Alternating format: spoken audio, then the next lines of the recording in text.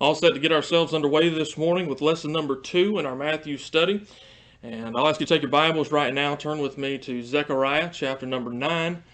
Zechariah 9, and you'll probably also want to uh, put a marker or something like that in Matthew chapter 21. Those will be the first two verses, uh, first two passages rather, that we'll be looking at this morning, going to some other places. Zechariah chapter 9 and Matthew chapter 21.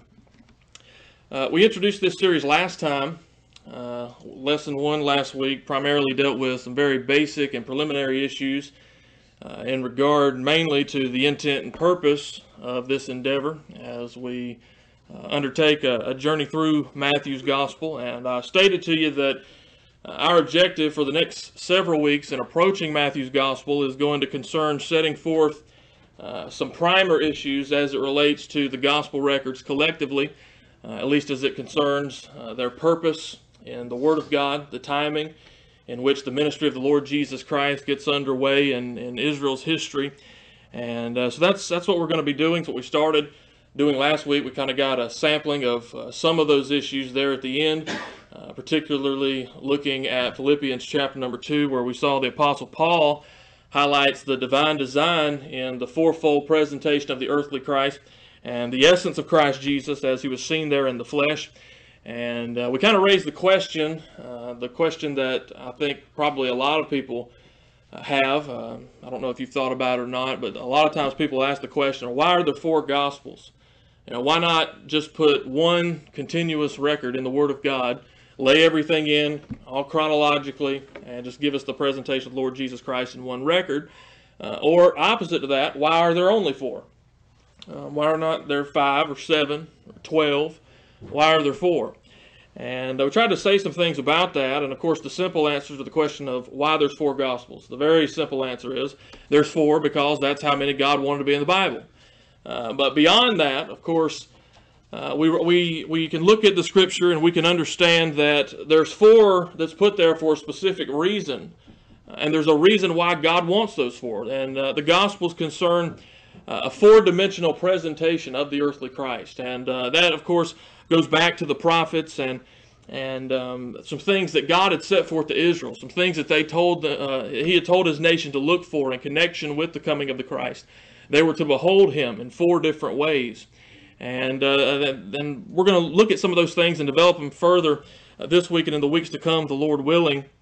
Uh, but what we what we came to understand just in general last week is that uh, these four presentations, uh, it's presenting to Christ that earthly ministry of the Lord and what he's going to do with them from a, a, an earthly perspective and a four-dimensional perspective.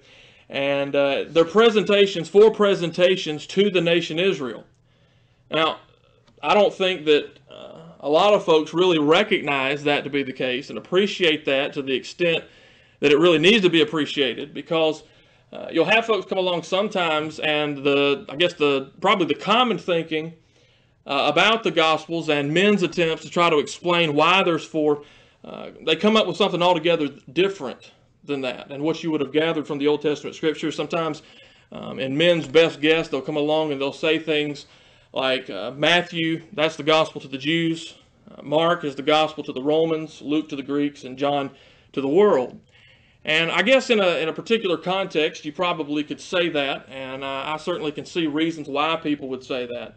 And in a particular context, again, that, that may be accurate, but I personally, I don't think that that is altogether reflective of an understanding of the purpose that God would have us to have from His perspective as to why there's four. Uh, that's really just a, a, man come along and expecting uh, the material, and that breakdown that I just gave you, to me, at least, it's it's kind of reflective of uh, the error that we kind of spelled out last week that people often make when they come to the New Testament they often think that when they turn the page from Malachi into Matthew and they see uh, John the Baptist and the Lord Jesus Christ in his earthly ministry, that what's going on there is that Jesus Christ has just come to minister uh, grace to everybody in the sense of the way that we know it in the dispensation of grace and the way that the Apostle Paul would teach us concerning the relationship of Jews and Gentiles in this dispensation and what God's doing with the body of Christ.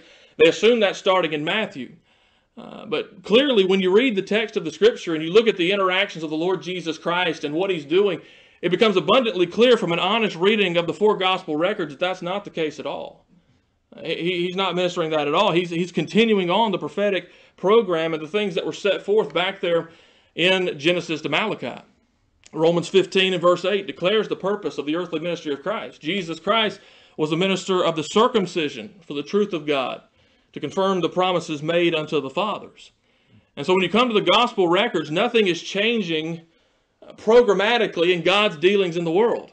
he's, he's still following the program that's set forth in the Old Testament. And uh, there, of course, are developments in that prophetic outworking as they're nearing the time of the end of that prophetic timeline that was set forth in the Old Testament. And you see certain developments because of where they're at in connection with that. But as far as the way that God is working in the world and the, what the Lord Jesus Christ's ministry is all about, it's still all wrapped up in this issue of God's reconciliation program for the earth in connection with the nation Israel. He's not just sending forth grace to the Gentiles with no distinction. There's a particular order and there's a particular way that God had set out that his program with Israel was going to work in time past, and, and the nation had to be saved first, and then the kingdom purpose was going to be established, and uh, the message of the Lord and the knowledge of the true Lord and true God was going to go out to the nations, with Israel being that light in the center of the earth. That's what's uh, the development in the Gospels. It's the covenants of promise still. It's, it's God working with his nation and fulfilling the prophetic timeline. And so, therefore, understanding that, when you come to the Gospels, Matthew, Mark, Luke, and John, uh, what you've got to understand and what you, you gain from reading them is that the doctrine of those gospel records do not contain the gospel of our salvation in this dispensation of grace.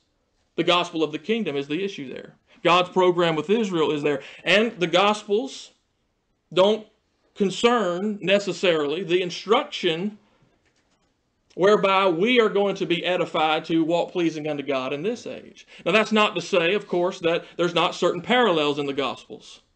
That's not to say that there's not things there to learn from and to draw upon, and very relevant parallels and much things to learn from the Gospel record. Certainly there are. And we've seen God expects us to learn those things and to be edified in those things and know about them. But what I'm saying to you is the doctrine's different. The doctrine's different in the Gospels. It's a different program from what God's doing with us today. It's still in a very legal context. The law's still in effect. You're never going to hear the Lord Jesus Christ saying what Paul says in Romans 6:14, you're not under the law but under grace. He's never going to say that. He's going to teach uh, he's going to teach the law. He's going to magnify the law and make it honorable and free it from the vanity that the Pharisees and the Sadducees uh, placed upon it. He's going to magnify that law and present it as, as God has it to be presented, but it's, it's different doctrine. And so, if you understand that, and you understand that God's presentations in the gospel is still working out that program with Israel, and that He's got a reason why there's four, and the way that they're to be beholding the Messiah when He comes in four particular ways, to, to come along and say then that Matthew's the gospel to the Jews, and, and Mark to the Romans, Luke to the Greeks, and John to the world, it really is kind of, of nonsensical when you realize that the doctrine in there is dealing with a completely different program from what God's doing today. You have to look at the doctrine. Again, all four of the Gospels are written for and to the Jews. It's not just Matthew. All four. The prophets of Israel told Israel to behold the Christ in four ways. It's all to and for Israel. You say, well, salvation of the world's talked about in the four Gospels. Well, of course it is. I mean, that was the that was God's purpose with Israel all along. You understand that? God's purpose in drawing out this, this nation all along and establishing his kingdom with them and dwelling with them in the land. That was for the purpose of reaching the Gentiles. God's always had a purpose to get to the Gentiles. That's what the kingdom's all about. And it was this issue of how the true God was going to be dwelling in their midst of this nation and, and the blessings upon this nation and the impact that that's going to have upon the nations is what causes the Gentiles to hear about the king in Israel. There is a God in Israel that's not like all this other vanity and this idolatry that we're worshiping out here in darkness. And because of the light of that kingdom and, and Israel being that light in the midst of the earth, as the prophets would say, the Gentile nations are going to flow under that kingdom. The salvation of the world was always in view. And somebody that understands the Old Testament and the program of God from Genesis to Malachi, when you come to the Gospels, you're not, you're not surprised by that at all. That was the goal all along, the salvation of the world. But the context of the doctrine is different than it is when you come to the preaching of the cross and this dispensation of grace. Yes, God wants to save the world today. He wants all men to be justified. It's, it's not God's will that any would perish. He wants men to be saved through the preaching of the cross and what's going on today. Sure, God wants the salvation of the world today. But you understand that the, the kingdom purpose with Israel, in that, the salvation of the Gentiles is in view. And in fact, the kingdom age is going to be the time of the greatest Gentile conversion to the true God there's ever been. What's happening in this dispensation of grace? Uh, we're told that evil men and seducers wax worse and worse. It's the foolishness to the world. The majority of people are not going to believe the dispensation of grace. Now, God's pouring out His grace. He's abounded toward us in that grace, but the majority of people are not going to respond to that. But that kingdom, there, there's going to be a light in the midst of a dark world when that kingdom's established with Israel and all the nations are going to flow onto it. It's, it's, that, that thousand year period is going to be the, the greatest time of Gentile conversion that's ever been in the period of the world. That's all part of the kingdom. And the salvation of the world being spoken about in the Gospels is in the context of the kingdom of heaven being at hand. The prophetic time has come for the kingdom to be established. Israel, you need to get the message. You need to get on board. Recognize who your Messiah is so we can go into the kingdom, get this thing going because God's ready to reach the Gentiles. And you get evidences in the gospel where the Gentiles are ready to receive it. They're wanting it, they're, they're primed for it. But what's the problem? Israel's not ready. They're not looking for him. They're not on the right page. Judah's in rebellion. They're not receiving their Christ. And he reprimands the nation for it. There's Gentiles out here that's got more faith than God's nation, that were committed to the oracles of God. That's the issue. And so it's almost understood in connection with that kingdom program, Israel's supposed to have the knowledge of the true God. They were given the light. They were given the revelation. It's the Gentiles out there floundering around in darkness and in idolatry and the vanity of their mind. They're the ones that need to be impacted by it.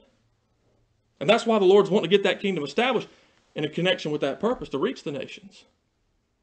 And so again, you'll see the salvation of the world in the Gospels, but anybody that has followed God's revelation through is going to come to that and understand the context of that salvation of the world is through Israel's kingdom rise, which is different doctrine and the preaching of the cross going on today.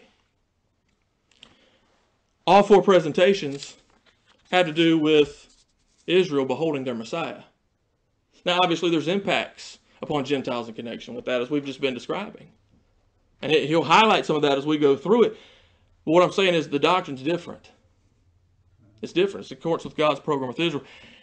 And so, what we're, we're going to come to understand is that the reason that God gives these four gospels is because in the prophetic program, the Lord told his nation, Israel, to behold the Messiah when he comes in those four ways. And all of those records are pointing the, the Jews to things that God had revealed to them in the Old Testament.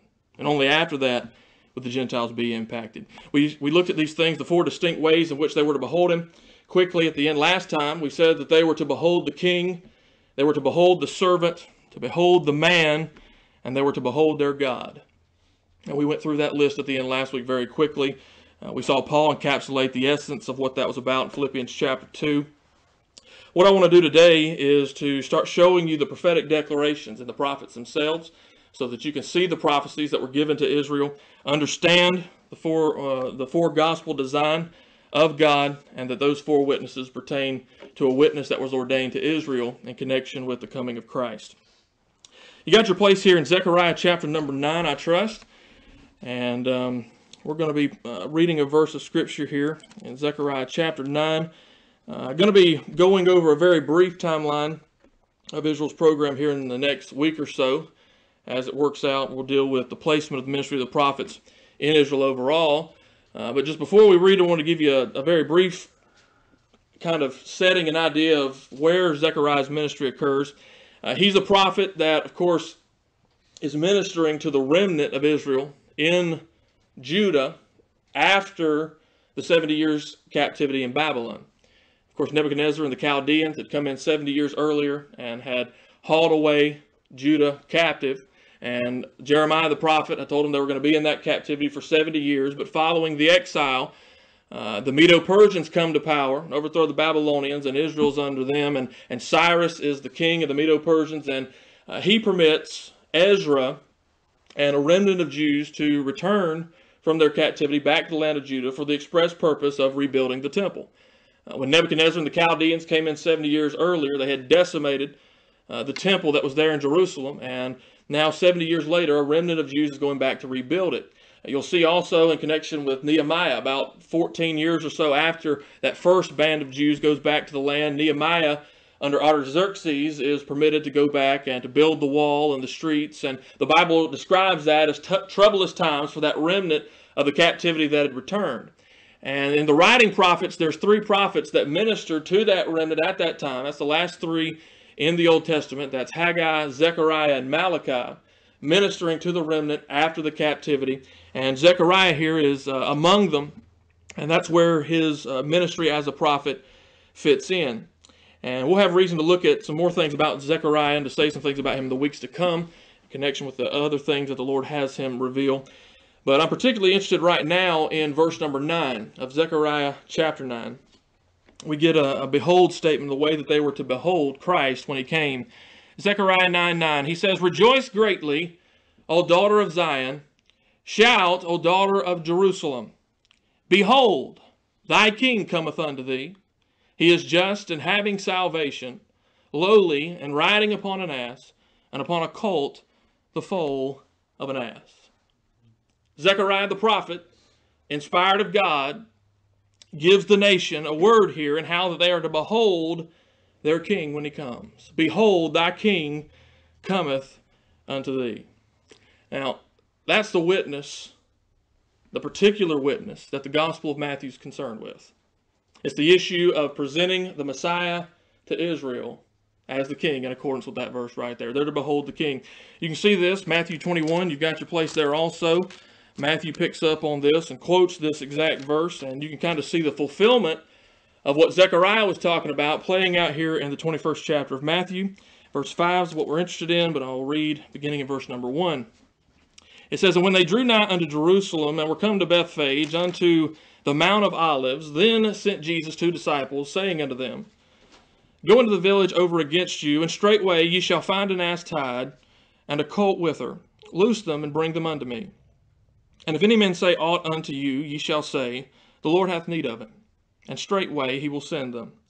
And this was done that it might be fulfilled, which was spoken by the prophet, saying, Tell ye the daughter of Zion, Behold, thy king cometh unto thee, meek, and sitting upon an ass, and a colt the foal of an ass. And the disciples went and did as Jesus commanded them, and brought the ass and the colt, and put on them their clothes, and set him thereon. And very, a very great multitude spread their garments in the way, others cut down branches from the trees, and strawed them in the way. And the multitudes that went before and that followed cried, saying, Hosanna to the Son of David! Blessed is he that cometh in the name of the Lord! Hosanna in the highest! And when he was coming to Jerusalem, all the city was moved, saying, Who is this? And the multitude said, This is Jesus, the prophet of Nazareth of Galilee. Now, what's happening there in Matthew 21 is at the end of the Lord's ministry. He's riding into the city of Jerusalem, into the holy city, upon this donkey. We know that it's not going to be very long until he's crucified.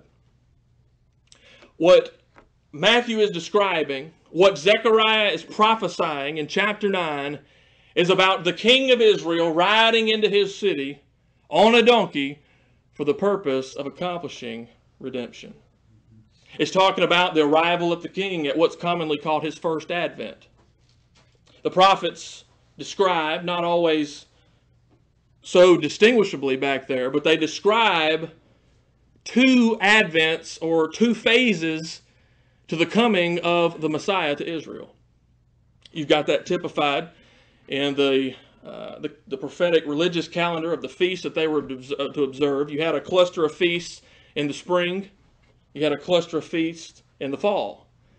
And those represent things that the Lord Jesus Christ, the Messiah of God, was going to accomplish in two phases of his coming. And prophetically, the spring feasts have already been fulfilled. He did that in connection with Passover crucifixion. He did that with unleavened bread and his burial, first fruits, and Pentecost. That's the four of the spring. In his second advent, he's going to fulfill the feast of first uh, trumpets. That's the regathering of the scattered remnant. The feast of atonement, where Israel is put under the, the new covenant taken into the kingdom, and then you're going to have the uh, what's represented as the Feast of Tabernacles, God with them, dwelling in their midst in that kingdom. Two phases. This here is a prophecy of him coming to fulfill what's contained in those spring feasts. He's coming to function as their Redeemer. You understand? In the Davidic covenant, of which the Christ is the embodiment, the human embodiment of all that was promised in the Davidic covenant, the first thing that had to take place is the redemption. And Zechariah is, is prophesying to the nation Behold, thy king in connection with him coming in to provide the redemption. And notice that the king, he's not coming in riding upon a noble stallion. It's not a white stallion that you would typically expect uh, of a king to be riding into the holy city to sit on the throne. And that's because that's not the purpose. That's not what he's doing. He comes in lowly, riding upon an ass and a the foal of an ass. He comes in on a donkey, a stubborn donkey. Now, that, that donkey, of course, they're known for being stubborn. And that is a picture of Israel and their rebelliousness. But it's not just a picture of Israel and their rebelliousness. Do you understand that in the law, a donkey was the only animal for which there was a provision for redemption? You read it in Exodus chapter 13. Uh, I think it's again in chapter 34. But it talks about how that uh, the, the firstborn of Israel's animals, all that opened the matrix, belonged to the Lord. But he gives a provision where a donkey can be redeemed. And that's the only animal that God talks about there being redemption for. A donkey was that symbol of redemption. Listen to uh, Exodus 13. Look, listen to how a donkey was supposed to be redeemed. Exodus 13, 13. And every firstling of an ass thou shalt redeem with a lamb. A donkey is to be redeemed with a lamb. He says, And if thou wilt not redeem it, thou shalt break his neck. It's either going to be redeemed with a lamb or it's going to have his neck broken. You see the picture God was setting forth? Based upon the law which the people of Israel were very familiar with. Zechariah coming along, talking about their king coming into them, entering into the holy city. He comes in riding their king on a lowly foal the single animal that is the picture of what he was coming to do for the nation. Provide the redemption, lest their neck be broken. He's coming in as their substitute redeemer to fulfill the first mandate of the Davidic covenant. And Zechariah, uh, hundreds of years before it ever took place, gives the prophecy Behold, thy king cometh unto thee riding upon an ass, riding upon an animal that serves as a picture of what thy king is coming to do at his first advent so that your neck doesn't have to be broken as a rebellious house. He's going to redeem them. And they're to behold the king in his redemption. Behold what he's coming to do because until he functions as the redeemer of his nation and pays the price for their ransom, you realize everything else that the Davidic covenant calls for in connection with deliverance from their enemies and establishing that kingdom, it can't happen. None of that can happen until the redemption's accomplished. The redemption is the, the first mandate, the most important mandate, because the redemption secures everything else the Davidic covenant calls for. That, that's, that's the key. Without a successful redemption, Christ cannot function in that capacity with the power to be their deliverer and avenger in the day of his wrath and to set up that king and to bless them in the kingdom. He can't do that until the redemption's accomplished. That redemption is what secures all of the power to himself as the heir of those things to be able to accomplish it. It all hinges on the redemption. Fail at the redemption, none of the rest of it's possible. Succeed at the redemption, all of the rest of it is assured. And he comes in as the king to function as their redeemer. And they're told to behold him. Behold the king coming to do that thing that secures everything that your program and that your covenants promise. That's why you'll find in the prophets, especially, that his first and second advent are so closely tied together. Sometimes you're reading the prophets and they'll go along and they'll be talking about this lowly aspect of his redemption and his humiliation and all the sufferings he's going to go through. And then almost without distinction, they'll just jump out right away and start talking about the glory of the kingdom. You're scratching your head. What in the world's going on here? The reason is that because from God's perspective, everything hinges on the redemption. That's the power that gets all the rest of it done. Once the redemption's accomplished, everything else is assured. That's the way God has the prophets talk about it. A successful redemption assures everything else. Zechariah 9 talks about beholding the king. And verse 9, as we've seen, it's talking about when he comes in to perform the redemption. And look how he jumps out now in verse 10. After the redemption, he says, And I will cut off the chariots from Ephraim, and the horse from Jerusalem, and the battle bow shall be cut off.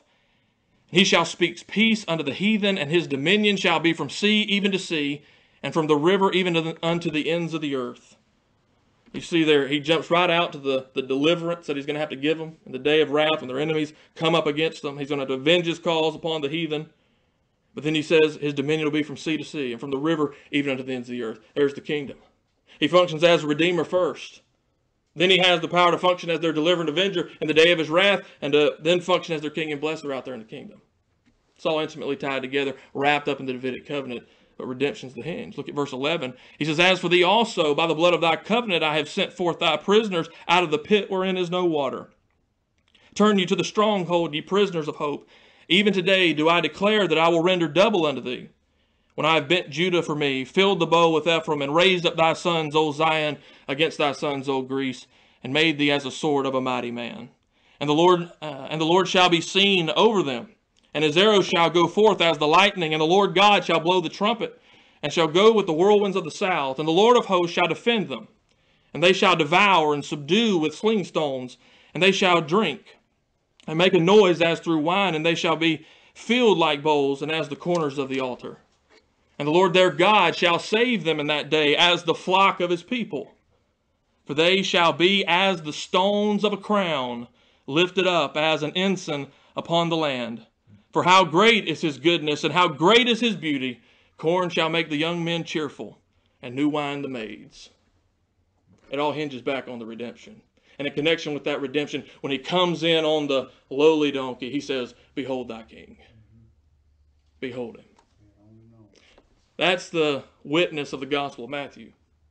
The purpose of the book is to present the Messiah when he comes as their king. And Matthew is saying to the nation Israel, Behold thy king, he's here. And an Israelite that had honesty of heart and that would go to the Old Testament scriptures and search those things out concerning Jesus of Nazareth would realize this is him. This is him. And they wouldn't be offended by the lowly coming. They wouldn't be offended by his simplicity and his lack of comeliness. They'll recognize he's the Christ. This is our Messiah. He says, Behold him. Matthew presents that, behold, behold, thy king cometh unto thee. Now, before we leave this passage here in Zechariah, I wanted just to mention that this particular verse is quoted by John as well in John chapter 12. Uh, there's reasons for that. Also, in connection with John's purpose in writing to present Christ Israel as God, equal with God. Uh, John 12, 15, Fear not, daughter of Zion, behold, thy king cometh, sitting on an ass's colt. He condenses it, but he's still referring to the same issue. And there's reasons why John brings that up in connection with presenting Christ as God. And that's because Zechariah doesn't leave you wondering about who this king is. He tells you who the king is. Come over to uh, chapter 14. He's going to identify who the king is. This one that comes riding lowly upon a donkey. Zechariah 4:16. And it shall come to pass that everyone that is left of all the nations which came against Jerusalem shall even go up from year to year to worship the King, the Lord of hosts, and keep the Feast of Tabernacles. And it shall be that whoso will not go up of all the families of the earth unto Jerusalem to worship the King, the Lord of hosts, even upon them shall be no rain. He's talking about the administration, the judgments of the kingdom when he's sitting upon the throne. But just notice how he identifies them here. He says they're going to come up to worship the king. Who's the king? He says it's the Lord of hosts. Capital L, capital O, capital R, capital D. Jehovah of hosts is the king. You understand the king that's coming lowly and riding upon the donkey. This is not just some old guy. This is the Lord of hosts we're talking about. Jehovah in flesh. And that's why John would pick up on it in a gospel that's about presenting him as God. This is who this guy is. He's not just a prophet or miracle worker or teacher. This is God.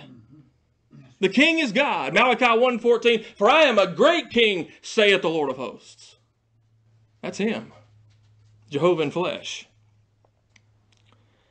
And that's who the king of Matthew is, and Matthew presents him as such. Behold thy king. A lot more to say about that, but let's let's move on now. Hold your place in uh, Zechariah. We'll be coming back here, the Lord willing, if we uh, have enough time to get it in. But uh, Isaiah 42 is the next place I want you to go. Isaiah chapter 42. I do hope that some of you will take me up on the encouragement I gave you last week to start reading through Isaiah, especially. I think it'll be beneficial to you if you get familiarized with this prophet. But Isaiah 42 is where we want to be. You know anything about the structure of the prophet Isaiah, of course, in chapter 40, the tone kind of shifts from the way that it, it was presented in the first 39 chapters. And essentially, as you look at chapter 40 to the end of the book of Isaiah, uh, what you've got is prophecies concerning the outworking of Israel's program from the time where the Gospels start to the, the consummation of his program and establishing his kingdom with Israel. Uh, chapter 40, for example, will start with a voice crying in the wilderness. And that, of course, relates to the ministry of John the Baptist, which we'll be introduced to pretty early on in the Gospel of Matthew. That's where those things are getting underway. Uh, you'll start seeing Christ come on the scene in Isaiah as he begins fulfilling the issues related to the Davidic covenant, functioning as Redeemer. Isaiah 53, obviously, talking about him on the cross, functioning as that Redeemer. It also talk about those issues of deliverance and avengement in the day of the Lord, as well as the kingdom. And so in chapter 40, you start with John the Baptist's ministry. By the time you get over to the end of the book at chapter 66, he's talking about new heavens and new earth. He's kind of running the gamut as you go through this last phase of the prophet Isaiah. And, and, and so here in, in chapter 42, you're still pretty early on in the development of the doctrinal presentation that Isaiah is giving in that. And so you're dealing with the time now where the Christ is coming on the scene. And he's going to show up in Israel. And he's going to um, fulfill those issues that uh, the prophets had talked about. And the picture that you get, if you've read the chapters previous to this, has really been an indictment upon Israel. Uh, the fact that they were, as a nation, to be the servant of the Lord in the earth. Uh, it turns out with their performance under the law, they showed themselves to be an unfaithful servant. They were a servant in whom was no pleasure. They were weak. They were idolatrous. They were unfaithful to the covenant. Got themselves into captivity. Just a complete wreck and mess. Uh, right the opposite of what they said back at Mount Sinai. All the Lord commands us, we will do. God knew they weren't going to. But they, they demonstrated that now. They've gotten themselves into captivity. And now, in contrast to all that, where Israel failed, Jehovah is going to begin talking about the Messiah and how he's going to come on the scene and he's going to accomplish and he's going to succeed in all of the areas where Israel failed. They weren't able to bring about that kingdom. They weren't able to be that light, to be what God created them to be as a nation. They had utterly failed at that. But God's going to come along to comfort his people and say, Where you have failed, my son, in the person of the Christ, is going to succeed, and he's going to bring all these things to pass. And all of Israel that's in him is going to be that true nation that goes in and possesses what the covenants call for. That's the context when you come to chapter 42. Israel has been a displeasing servant. But look at what he says about the Messiah. Chapter 42, verse 1. He says, Behold my servant. Behold my servant, whom I uphold, mine elect, in whom my soul delighteth. That's the Messiah, folks. His soul had not delighted in Israel. He had said at a certain point that he, he had abhorred his people because of their idolatries and their sins and their breaking of the covenants, and he, he had cast them out of his land. But when this one comes, this, this faithful servant, my servant as he calls him, he says, in, in him my soul delighteth. It's going to delight in the Messiah. Remember, at his baptism and later at the Mount of Transfiguration, the voice of the Father, This is my beloved Son, in whom I am well pleased. It's the one in whom my soul delighteth. It says, He shall bring forth judgment to the Gentiles. That's what Israel's supposed to be doing. They failed. He says, This one's not going to fail. He's going to bring forth judgment to the Gentiles. That's the kingdom. He shall not cry, nor lift up, nor cause his voice to be heard in the street. A bruised reed shall he not break, and the smoking flax shall he not quench, and he shall bring forth judgment unto truth. And he shall not fail, nor be discouraged, till he have set judgment in the earth, and the isles shall wait for his law. That's the kingdom. He's not going to be discouraged in that purpose. He is going to bring forth judgment in the earth. His kingdom is going to be established. Where Israel failed, he's going to succeed, and the isles of the Gentiles will wait for his law. The law is going to go forth from Jerusalem to the uttermost part of the world. Verse 5 Thus saith God the Lord, that created the heavens and stretched them out, he that spread forth the earth and that which cometh out of it. He giveth, that giveth breath unto the people upon it, and the spirit to them that walk therein. I, the Lord, have called thee in righteousness, and will hold thine hand, and will keep thee and give thee for a covenant of the people, for a light of the Gentiles. There's the kingdom purpose. To open the blind eyes, to bring out the prisoners from the prison, and them that sit in darkness out of the prison house. The faithful servant is going to succeed where the nation failed. The Messiah is the true nation. That vine, that vine's a picture of Israel's national life. He's going to come along and he's going to tell his little uh, flock of disciples there, I'm the true vine. I'm the true nation. You're the branches. And that, that kingdom purpose is going to go out to impact the nations because he's the true nation. The apostates are going to be purged out. They failed. They've rejected all that. They've rejected their God. They're going to be purged out. He's the true nation. And identity with him is going to be that group that goes in to possess the kingdom, that little flock, as they'll call them. He's going to succeed. But here, the prophet Isaiah gives another behold to the nation. When he comes, what he's going to do, he says, Behold my servant. He's going to accomplish the things that you failed at. He's going to bring all my counsel to pass. This is the one that you need to be identified with. This is the one that you need to behold. And you need to behold him as the servant. He's the one that's going to be able to do all of these things to bring the kingdom to pass. He's going to succeed. He's not going to fail or be discouraged. Behold him. That's the presentation of Mark, the servant. You see him doing all these things, giving the signs of the kingdom. He's the one that's able to secure all that's called for by the promises to the fathers. Look over quickly to uh, chapter 52, Isaiah 52. Time's getting away from me this morning, so we'll probably have to look at this verse and then save the, the rest for next week. Isaiah 52 here. Uh, we're interested in verse 13 and following. Of course, these verses precede the 53rd chapter, which we're no doubt all familiar with, concerning the vicarious sufferings of Christ on the cross. And he's going to speak about him being the servant here in connection with this as well. Verse 13, Isaiah 52, he says, Behold, my servant shall deal prudently. He shall be exalted and extolled and be very high. You got the same phraseology there to start verse 13 we saw back in chapter 42. A behold statement concerning the Messiah where the Lord is saying, Behold my servant. He's going to deal prudently. He's going to succeed. And notice he's calling him a servant, but notice how he describes this servant. He says that this servant is going to be exalted and extolled and be very high. To me, that doesn't sound like a description of a normal servant. That sounds a lot more in line with the description of a king, doesn't it? What Isaiah is doing, he's coming along, and what he's telling you is the king of Matthew is the servant who's going to be able to do the work and accomplish all that's necessary to bring that kingdom to pass. And he's going to be exalted. He's going to be extolled. He's going to be very high. it's reminiscent of what we looked at last week in Philippians 2, where the Apostle Paul said that uh, he's, uh, wherefore God also hath highly exalted him, given him a name which is above every name. That's very high. That's the king. The king of Matthew is the servant of Mark. And the prophet says, Behold my servant. As he fulfills it. Look, you see these issues lined out again. Verse 14, As many were astonished at thee. His visage was so marred more than any man, and his form more than the sons of men. There's redemption. The marring of the Holy One that uh, chapter 53 will describe. So shall he sprinkle many nations. The king shall shut their mouths at him. He's going to put the governments of this world in place. Kings are going to have their mouths shut.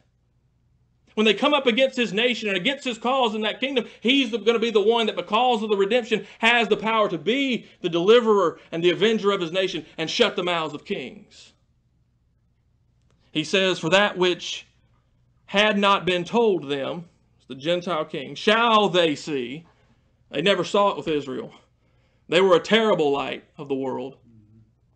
But when he comes, my servant comes, they're going to see which they, uh, or they're, um, he says, that which had not been told them shall they see, and that which they had not heard shall they consider. And they're going to consider it because he's going to do it as the servant. He's going to bring it to pass as the servant. The kingdom is going to be established because of his faithful performance as the servant of the Lord. And the Gentiles are going to see it. And it is going to be brought to pass. Those are all issues in the Davidic covenant, folks.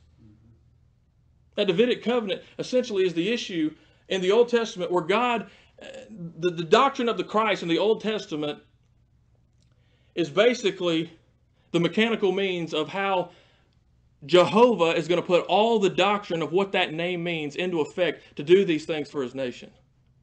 He revealed the name through Moses to the nation, the, the name of covenant. I am that I am. I am blank. Jehovah.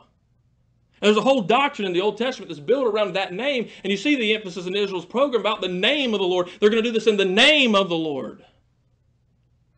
That's not just a name. There, there's specific doctrine and connection with that. And the Davidic covenant basically comes along to say how that all of God's Jehovahness, if you could use that term, is going to be put into effect to accomplish these things. And it's by Jehovah enfleshing himself in David's line.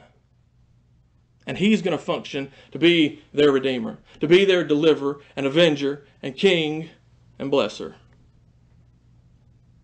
He is their God come unto them. As a servant, he's going to perform it, ultimately ending in him as their king, sitting down upon the throne and fulfilling the covenants. Mark's presentation is concerned with, Behold my servant. That's Matthew and Mark, the servant king the next time we'll hopefully look at some of the prophets concerning the, the latter of the two gospels, the God man. We'll look at that next time. Thank you for being here this morning.